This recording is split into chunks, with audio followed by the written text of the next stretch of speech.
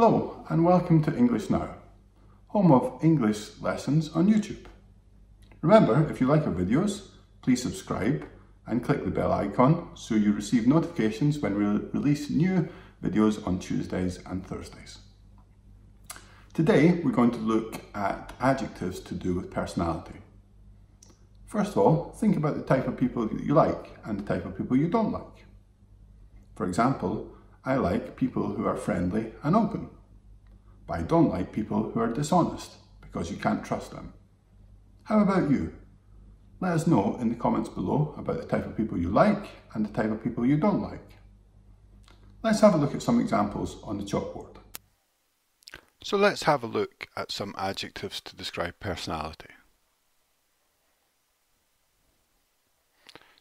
I'm going to give you some examples of different types of people. I'd like you to try to think of a word to describe these people. The first one is someone who loves meeting people and going to parties.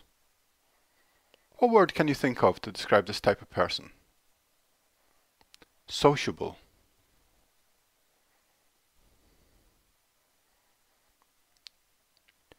How about someone who likes telling other people what to do?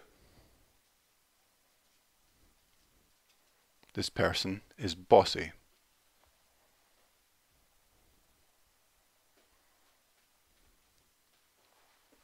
How about someone who's always happy and in a good mood? We could describe this person as cheerful.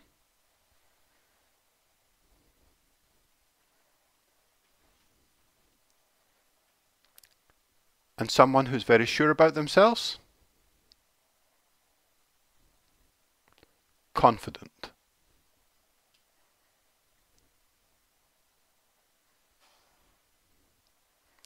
And someone you can trust to do what they say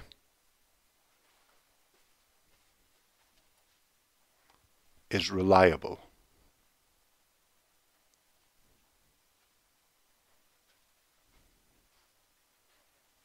Someone who's relaxed and doesn't take themselves too seriously is easygoing.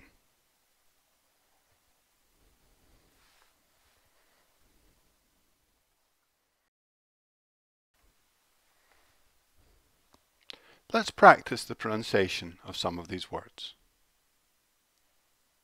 Please feel free to repeat after me. Sociable sociable, bossy, bossy,